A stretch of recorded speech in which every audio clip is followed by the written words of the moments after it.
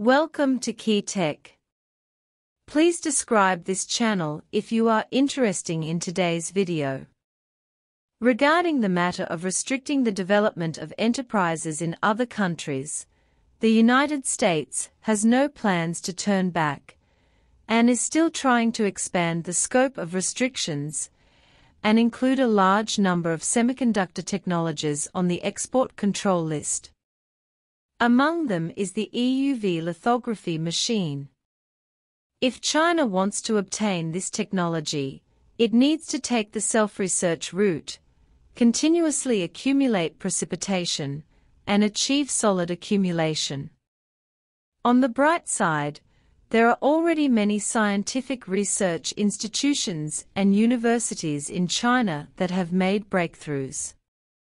Among them, a university in China announced a technology that pierced the sky, which caused the US media to sigh, how can we sanction it?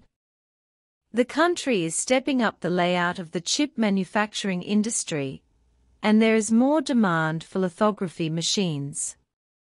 Domestic lithography machines are temporarily unable to enter the 28 nanometers and other chip process production lines, relying on imported ASML lithography machines. Although foreign lithography machines have output and quality assurance, they are prone to getting stuck. ASML's most advanced EUV lithography machine cannot be shipped freely so far, and even the high-end models of DUV lithography machines are restricted from export. Therefore, it is time to recognize the reality. No matter how good foreign equipment is, it is foreign. If you want to master the core technology and break the technological blockade, you have to rely on yourself. But the question is how difficult is it to build an EUV lithography machine? How far is domestic production from mastering this technology? Building an EUV lithography machine is a very complex and difficult task. EUV lithography requires the use of extreme ultraviolet light, EUV, for chip manufacturing, and this wavelength is very short, only 13.5 nanometers so special mirrors and optical components are required to focus the light and make optical corrections. These components require very high precision and purity. In addition, EUV lithography requires the use of very powerful light sources and control systems to ensure stability and accuracy. EUV lithography technology also needs to solve many other problems, such as photoresist selection, mask manufacturing, lithography machine manufacturing and maintenance, etc. These problems require highly specialized knowledge and skills, and require a lot of time and effort to solve. There is still a certain distance for China to master this technology, but China has made some progress in the research of EUV lithography machine technology. Plasma line technology, which makes DPP EUV light source is expected to move from theory to reality.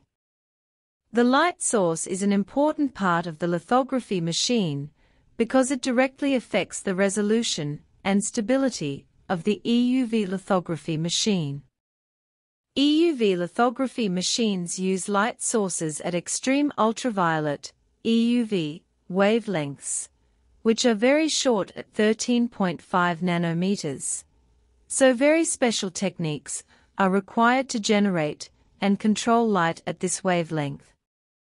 In addition, the EUV light source needs to have very high energy and stability to ensure that the lithography machine can work stably and produce high-quality chips.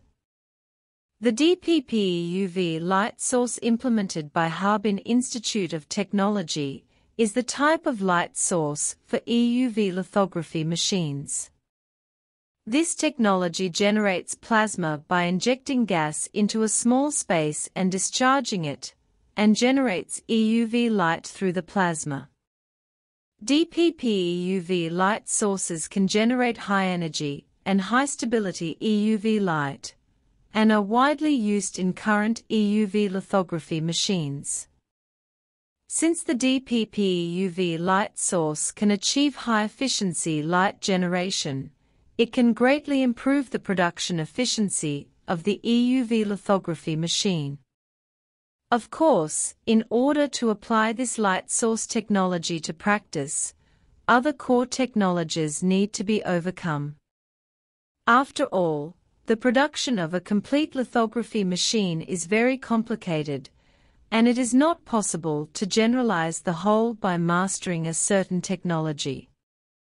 But since the first step can be taken, there will be a second step until the final ice breaking is achieved. Some American media expressed emotion that the United States may not be able to sanction China in the future. China's continuous research and development will surely make greater breakthroughs. Facing the future, China still has a lot to work on. If we want to achieve a breakthrough in the independence of the lithography machine industry, we can start from multiple aspects. The first aspect is to increase investment in the research and development of lithography machine technology, especially the research on key technologies, such as high-energy DPP EUV light source, photoresist, lithography machine control system, etc. At the same time, strengthen basic research in related fields of lithography machines, cultivate and attract more talents. The second aspect is to strengthen cooperation with relevant domestic and foreign enterprises, avoid redundant construction and waste of resources, and form a situation of complementary advantages and coordinated development. At the same time, domestic enterprises are encouraged to jointly develop and produce with leading enterprises in order to improve the technical level and market competitiveness of domestic enterprises. The rise of ASML at the beginning was due to the cooperation with TSMC. TSMC helped ASML's lithography machine to verify and provide technical support. Since then, TSMC and ASML have achieved each other. TSMC has become ASML's largest customer, and ASML has also become TSMC's largest lithography machine supplier.